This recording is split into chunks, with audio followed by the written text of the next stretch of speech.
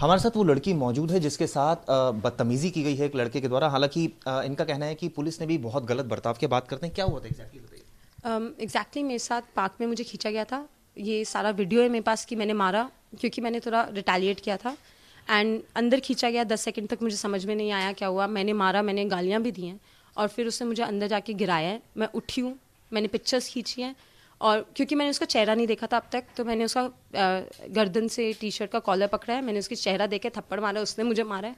मैं बुश पे गिरी हूँ और फिर मैं उसके पीछे भागी हूँ। मेरे पास ये पूरा रिकॉर्डिंग वीडियो में रिकॉर्डिंग था। एंड सेवन थर्टी मैं पार्क से निकलती हूँ सेवन फोर्टी सिक्स मैं स्टेशन पे हूँ।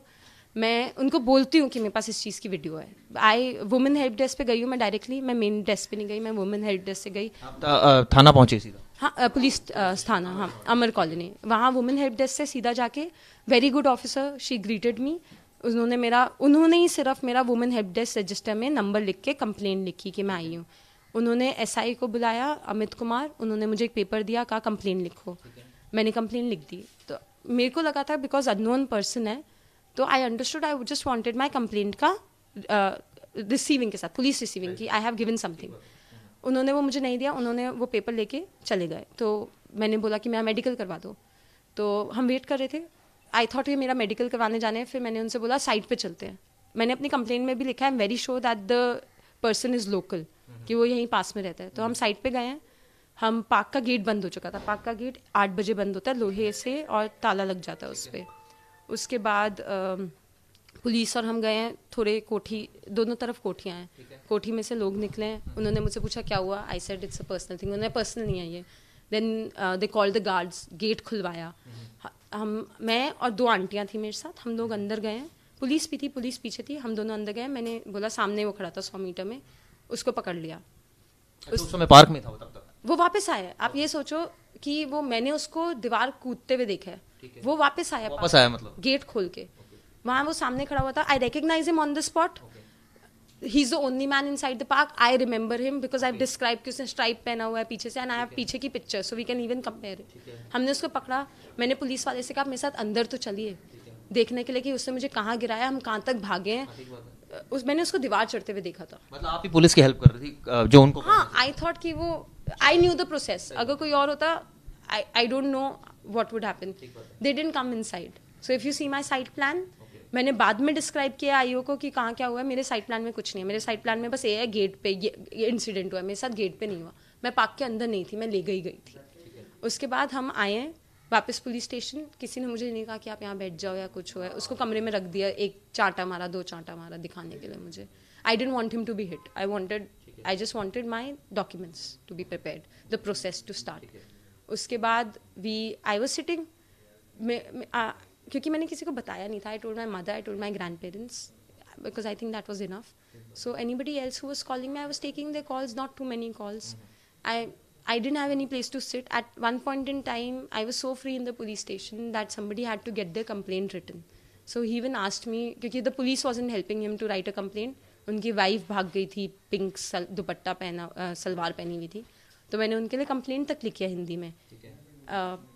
I was that free I was even given a seat कि आप वुमेन हेल्प डेस्क वाले रूम में बैठ जाओ। वहाँ कुछ सरदार का ग्रुप था कुछ चल रहा था। एंड पुलिस ने ढंग से बिहेव नहीं किया दे डेंट केयर उनको ये भी नहीं लग रहा था कि मैं पुलिस थाने में घूम क्यों रही हूँ। I have been in the police station for more than three hours now I am also tired I haven't had water I haven't had food they are giggling वो अपने रास्ते में ये बात करें ऑफ़ पुलिस स्टेशन के gossip के बारे में। I have a recording of this that they are saying कि क्या ऑफ़िस में प्रॉब्लम है, कौन ड्यूटी पे नहीं आता and they are giggling they are laughing I have no family with me I am just silent I am sitting they quiet we went to AIIMS AIIMS condition was very bad we get a M L C done ten thirty eight पर मेरा M L सी हो गया था, पर वहाँ picture लगती है M L सी पे तो वो कैमरा में क्लियर पिक्चर नहीं आ रही थी तो वी वर वेटिंग इस चीज़ में इलेवन थर्टी हो चुके हैं। मैंने इलेवन थर्टी को बोला कि मेरा फ्रेंड मुझे कंपनी करेगा। तो they were shouting at me for five minutes I have recording with police officer is telling me madam हमारे पास यही काम थोड़ा है कि आप लोगों का वेट करते रहे हम हमारे पास और भी काम होते हैं पुलिस के पास। I just wanted my finally आप ये कहना चाह रहे हैं कि पुलिस का बहुत ही ज़्यादा बैड दे डोंट केयर अच्छा इसमें आप ये बताइए आरोपी को भी गिरफ़्तार कर लिया। सिक्योरिटी के बारे में क्या कहेंगे? वहाँ तो सिक्योरिटी इसका मतलब नहीं है।